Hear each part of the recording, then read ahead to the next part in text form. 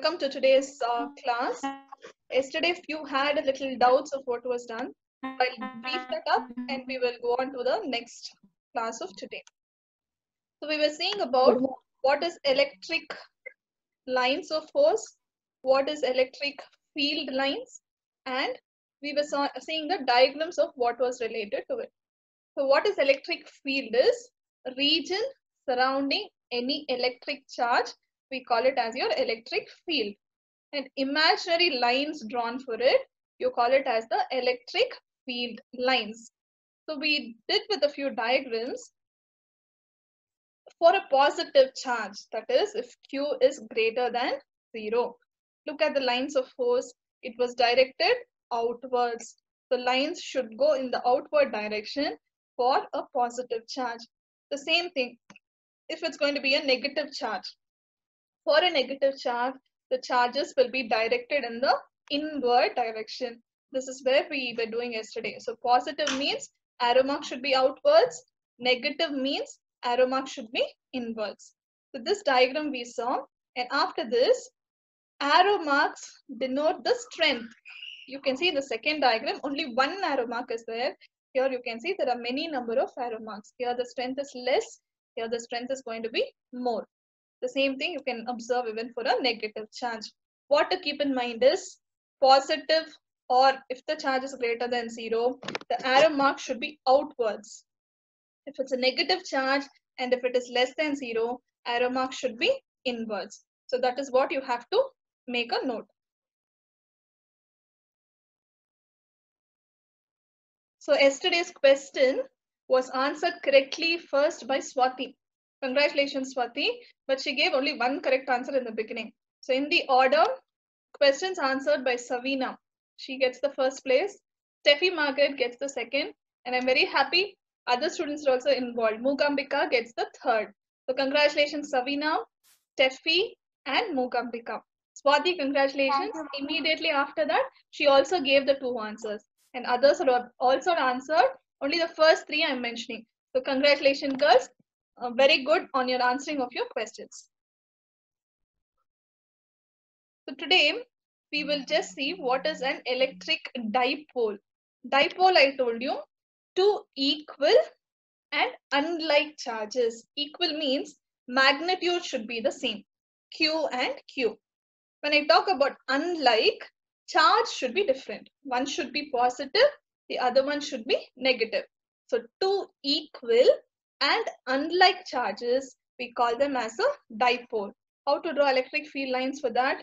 I told you for a positive, it should be outwards and for a negative, it should be inwards. So you can see clearly the arrow mark here is denoted outside and the arrow mark here is denoted towards your inner side. So if you take a positive charge, the lines should always be towards your outward direction. And if you take your negative sign, it has to flow towards the inward direction. And if you take the next example, electric lines of force due to pair of equal and like charges. Here we saw it is equal and unlike charges. So if they are like, meaning both should be positive and positive. How does these electric field lines appear? So here you see this is also plus Q. Here also you have plus Q. So this is an example for equal and like charges. For both, arrow mark should be outwards because both are positive. Here it's like a loop, like a curved line. Whereas here you can see it is diverging away. So this diagram of electric field lines is a two mark question. If they tell you equal and unlike charges, this is the way you should draw it if it is equal and like charges, they have to repel from each other. And you can see you can draw your x and y axis to represent they are moving away. And you can draw a spherical line. The sphere here in both the lines indicate the electric field. So till where electric field will act is denoted by that symbol. Today's class, we will see about uh, I just want you to tell something. The uh, class is at 10.30. So if you are on time, it will be better. We will allow you even till 10.35, 10.40. After that, when you are joining, it's creating disturbance. So see that you are on time at 10.30, 5 to 10 minutes connectivity problem, I understand. But later than that will not be fine. So be that you are to the class on time. And I think you have a book and pen with you in your hand. Apart from what is there in the slides, please make it a note to note down the points. Today's assignment will not be from what I'm sharing. It will be only from the questions of what I'm telling orally. So anything I'm telling extra, please make a point that you write it down. Yesterday's class, when we were talking about, I was telling you, we have two types of charges. One is the source charge. The other one is called as your test charge. So what is this source charge or what is this test charges? Please have a pen and a paper and make a note. Source charge is a charge which produces the electric field. What do you mean by source? It has to produce something. So source charge means it has to produce an electric field. I'm repeating it. Source charge produces electric field. Source means what? Something which is producing. So what is a source charge? A charge which produces electric field. We call it as a source charge. Second point, I told you test charge. In last class, I told you clearly, test charge should not create any difference due to its presence. So that is called as a test charge. I'm repeating it. Test charge is a charge having very small magnitude. It is having very small magnitude so that its presence should not affect the electric field. So it should have very small magnitude and its presence should not affect the electric field. So these two questions I want you to keep in mind. One is source charge which produces your electric field. Test charge which has small magnitude and its presence should not affect your electric field. Now having come knowing all these two things, we will see what are the properties of electric charges. So the first property of electric charges, it is additive in property. What do you mean by additive? You can add the charges. If there are four or five charges what you need, the charges can be added. See, it's clearly given. Q equals Q1 plus Q2 plus Q3 plus so on. How many ever charges are there? We can add up your charges. So charges are additive. First point. Second point, charges are quantized. What is quantization? Any charge can be expressed as an integral multiple of E. E is charge of an electron. 1.6 into 10 to the power of minus 19 coulomb. So if I can, if I have five charges, the total charge will be equal to 5 into 1.6 into 10 to the power of minus 19 coulomb. So what does quantization means? Any charge can be expressed as an integral multiple of E. Integral multiple means it should multiply be multiplied by N. So first point, charges are additive. Second point, charges are quantized. And the third point is charges are conserved. What is conservation? Charges can neither be created nor destroyed. You can convert it from one form to another. We also have the law of conservation of energy. Energy can neither be created nor destroyed. So here are three properties. To just keep it in mind, A, Q and C. A is for additive, Q is for quantized, C is for conserved. Just tell it in your mind and check once. A is for additive, Q is for quantized, and C is for conserved. Very important two mark question. What are the properties of electric charges? You should blindly tell charges are additive, point number one. Charges are quantized, point number two. Charges are conserved, point number three. So having known this, we'll move on to our second question. So your second question is, state and explain Coulomb's law of electrostatics or it is also called as inverse square law. So what is this inverse square law or Coulomb's law is? Observe carefully. Statement of the law. Force of attraction or repulsion between two point stationary charges. So here the force of attraction or repulsion between any two point stationary charges should be directly proportional to the product of the magnitude of charges and it has to be inversely proportional to the square of the distance between them. So that is the statement of Coulomb's law. I'm repeating it. Force of attraction or repulsion. Learn that as your first point.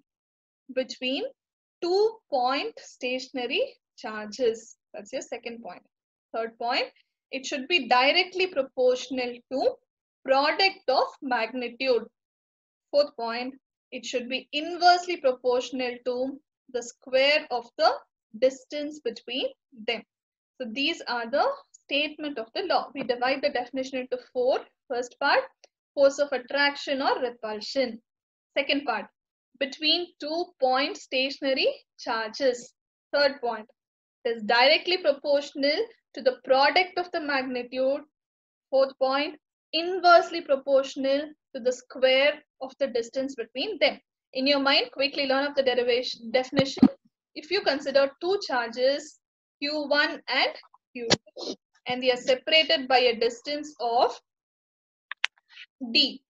So F should be directly proportional to product Q1 and Q2 and it should be inversely proportional to the square of the distance. What is the distance here? It is d. Square of the distance means d square. Because it is inversely proportional, I'm writing it down in the denominator. So this is your mathematical form. F is proportional to Q1, Q2 divided by d square. Proportionality sign if you have to remove and introduce the constant. We write the value to be k. K is my proportionality constant. So F will be equal to K into Q1, Q2 divided by T square. K value is 1 divided by 4 pi epsilon naught.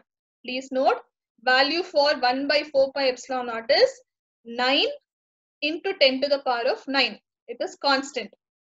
So here, K is your proportionality constant and its value is equal to 1 divided by 4 pi epsilon naught. This is your mathematical form of Coulomb's law. F is equal to 1 divided by 4 pi epsilon naught Q1 Q2 divided by R square. The same thing if you have to write it in vector form. I'm going to express it as F12. That is two forces we are having Q1 and Q2. So we write it as F12. The same formula. F is equal to 1 divided by 4 pi epsilon naught q1 q2 divided by d square. What is remaining is your unit vector that is r cap. Here if you write 1, 2, in r cap you should write it as 2 and 1. That's the difference. R12 means F12 means here you will write it as R21. Its value is 1 so you need not worry about anything. F12 will be equal to 1 by 4 pi epsilon naught Q1 Q2 divided by D square into R21. R12 will be equal to minus of R21. What does that mean? Force because of the first charge on the second charge will be equal and opposite to the force of the second charge because of the first charge. Here you have to consider Newton's third law. I want somebody to tell me Newton's third law. Josefa? Newton's third law? Newton's third law. For every action? Opposite. Every action, there is an equal and opposite reaction. There is equal and There is an opposite equal and op- reaction. Very good. So that is a statement for Newton's third law. For every action, there is equal and opposite reaction. Considering that, opposite check. Opposite reaction. very good. So we'll consider that. So first force will be equal to minus of the second force. If you're using Newton's third law, and here you will get that answer. F12 is equal to minus of F21. So Coulomb's law is the second impo important question. Force of attraction should be directly proportional to the product of the charges and inversely proportional to the square of the distance between them. Vector form, same formula. Here just write 1, 2, put an arrow mark on top.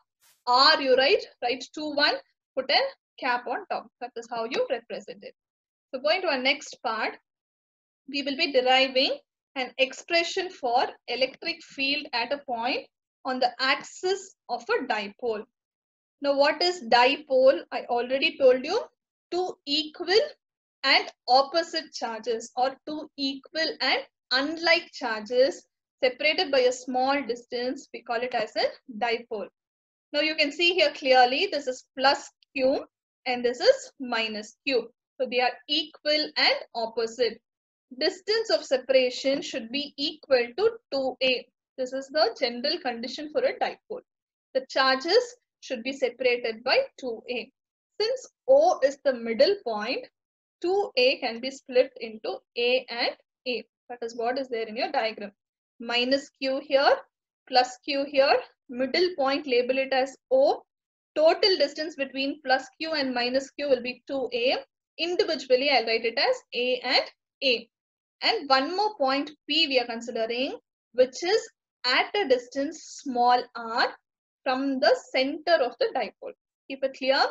P is a point at a distance small r from the center of your dipole. So this is your diagram. Since we are drawing it in a horizontal line, I call this as axis. We have two derivations for 5 marks here. Expression for electric field at a point on axis is first derivation. On equatorial line is the second derivation. So today we are doing for at a point on the axis of a dipole. I think diagram is clear for you. Minus q plus q. Center point is O. A and A. From O, mark a point P, which is at a distance R. So to start our derivation, let P be a point on the axis of a dipole of moment P vector. So moment is a product of your force and the perpendicular distance. Moment will always be denoted by the symbol P. So P is a point on the axis of a dipole of moment P vector its length should be equal to 2a. Wherever you come across dipole, distance of separation will normally be equal to 2a. And it should be at a distance r from the middle point. So you draw your diagram, you write this point. P should be a point on the axis, length should be 2a and distance should be r. Observe carefully. Electric field at the point due to the positive charge what charge is here? It is due to the positive charge. Formula is Coulomb's law. 1 divided by 4 pi epsilon naught Q1, Q2 divided by R square. Here we are considering only positive charge. So you write it as Q. Observe carefully. If it is positive charge, your distance will be R minus A the whole square. Okay. R is the distance from here to here. A is this distance. So if you want for the positive charge, it will be this R minus of A the whole square. Same thing, electric field at P due to the negative charge. Observe, here it is negative. That is E2 will be equal to 1 divided by 4 pi epsilon naught Q divided by, here it is negative means here you will get a plus sign. It is R plus A the whole square. Why we are getting plus? Charge Q is here. So from P to O, it is R. From O to Q, it is A. So if I want for this, I should add the total length. That is R plus A the whole square. And direction should be mentioned. First one will be along OP from here to here. Second one will be along PO, Newton's third law again. Charges should be equal and opposite. So these two formulas, you should write it clearly. I'm repeating it. E1 is 1 by 4 pi epsilon naught. Q divided by R minus a the whole square for positive. E2 is equal to 1 divided by 4 pi epsilon naught q divided by r plus a the whole square for a negative charge. Now we'll take the total electric field at P due to the dipole. Due to your dipole, your formula will be EA is equal to E1 minus of E2. So EA is what is common in these two terms if you see it is 1 divided by 4 pi epsilon naught. Take that outside. What is also common here? Q. So that is also removed. Remaining in A1, E1 is 1 divided by R minus A the whole square. Put a negative sign. Here it is 1 divided by R plus A the whole square. Write it down separately. See, we, we are removing out 1 divided by 4 pi epsilon naught into Q. Remaining in E1 is 1 divided by R minus A the whole square. Remaining in E2 is 1 divided by R plus A the whole square. Take it out, common. Now what you should do is take LCM here. Um, I want Divya Darshini to answer what is A plus B into A minus B. Divya Darshini. Kirtana. A plus B into A minus B. A square minus B square. Vishalakshi. It's a simple identity. A plus B into A minus B. A square minus A square minus B square. A square minus B square. Very good, Vishalakshi. B square. Okay. We will use that formula now. A plus B into A minus B, you see, it is A square minus B square. A plus B here is R plus A. A minus B is R minus A. A square minus B square means you will get R square minus A square. Since we have one square on top, this will be written as the whole square. Keep it clear. We are using the formula A plus B into A minus B. That will be equal to A square minus B square. The square which is on top, you write it as it is. You can cross multiply here. We will write it as R plus A the whole square minus R minus A the whole square. Anita, what is A plus B the whole square? Anita, A plus B the whole square. Arshia, what is A plus B? A square plus 2AB plus B square. A square plus 2AB plus B square. Can you apply B it here? square. B square. Okay, apply it for the formula R plus A the whole square. How will we write it as? R square plus A square Plus plus two. 2AR. Very good. 2AB. Then put a negative sign. Here you will write it as R square plus A square minus 2AR in formula for R minus A the whole square. Very good, Anita. So you're going to use that formula here and write it as R square plus A square plus 2AR. See this A and b is interchange here. You in your when you're writing the answer, just mention it as A itself. So this will be I'm using it for r plus a the whole square. So it is r square plus a square plus 2ar. Now when we take a minus b the whole square, we have a negative sign here. So it will be minus a square minus r square plus 2ar. Whatever is cancelling, just cancel it out.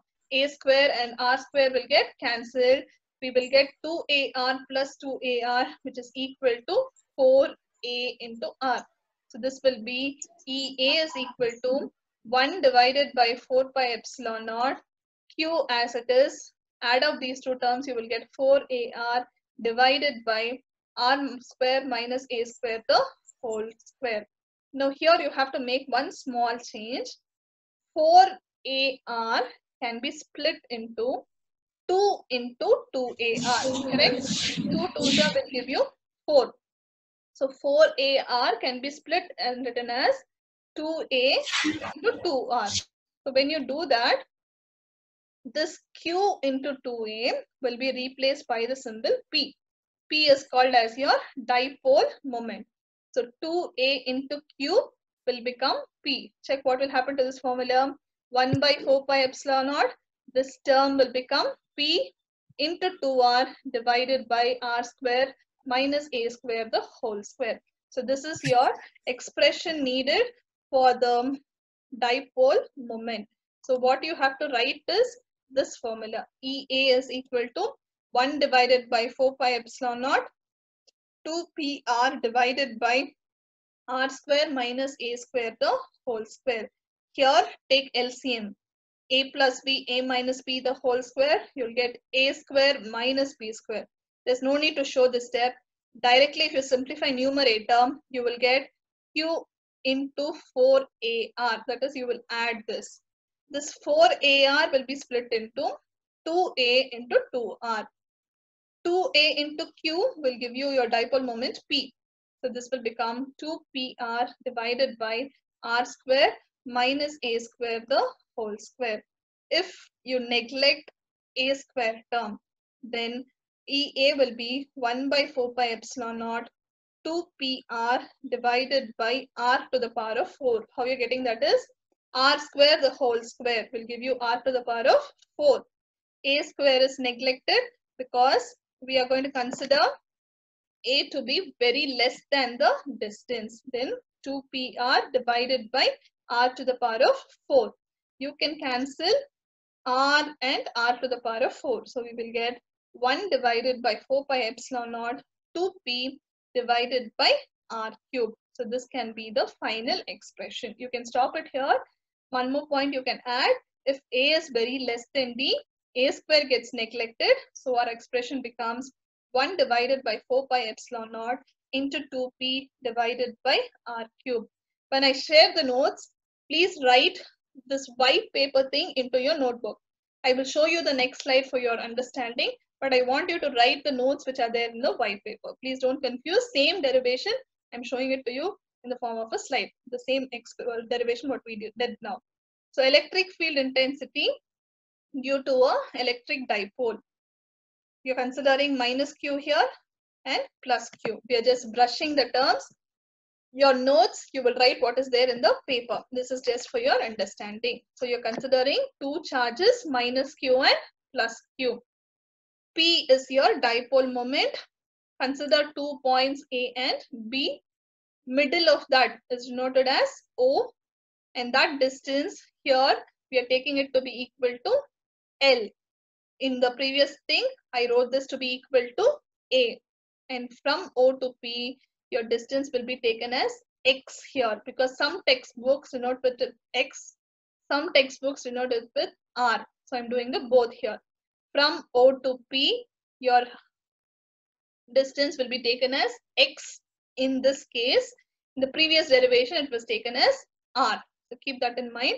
Now to do the steps, resultant electric field intensity at the point P will be EP is equal to EA plus EB. I wrote it as E1 plus E2. For simpler understanding, it is EA plus EB. So vectors are collinear and opposite. Collinear means they are in a straight line and they are opposite in direction. Hence, your total potential will be EB minus of EA. Previous derivation it was E1 minus of E2. So you can write the formula EA is 1 divided by 4 pi epsilon naught Q divided by here it is X plus R the whole square in my previous thing. Since I've taken it as L here, we are writing it as X plus L the whole square. C EB will be 1 by 4 pi epsilon naught Q divided by X minus L the whole square. This is for the positive charge and this is for your negative charge. Total potential, you can take it, take 1 by 4 pi epsilon naught q divided by x minus l the whole square minus q divided by x plus l the whole square. q is common which can be taken outside. If you're taking LCM, it is x square. Anita told us clearly. x square minus l square the whole square. Numerator will become 2 into L into R multiplied by 2. That is 4LR. Or in your previous thing, it was 4A into R split it into 2q into 2l. So this dipole moment will be substituted now. P is your dipole moment which is equal to q into 2l. So this will be replaced by P. Your final expression is 1 by 4 pi epsilon naught 2px x square minus l square the whole square. If l is greater than x, then L square term will be neglected and we will get E is equal to 2p divided by 4 pi epsilon naught into x cube. Whichever is easier for you. You want to follow these steps or the previous steps, you do it for learning. But in your notes, when you write, do it systematically. I prefer you writing the notes which are in white. And diagram should be clear. Here, if the distance is a, this L term will become a. Here, distance is x. So x term in your previous thing will become r. So you can either do this derivation or you can take up the previous derivation which is given for you. So whatever diagram we draw, A and here, A here, in the next slide we are taken it as L and this distance will be taken as X in your next derivation. The remaining are same. But since for learning it should be with the sentences, I want you to write it. So this is the electric field intensity due to your electric dipole. How you to remember the steps is, first step just remember for positive charge, it should be x minus L the whole square. For negative charge, it should be x plus L the whole square. Then we are subtracting. When you're subtracting, you should take the LCM. That will be x square minus L square the whole square. Numerator, it will be equal to 4AR or here it is 4A into L.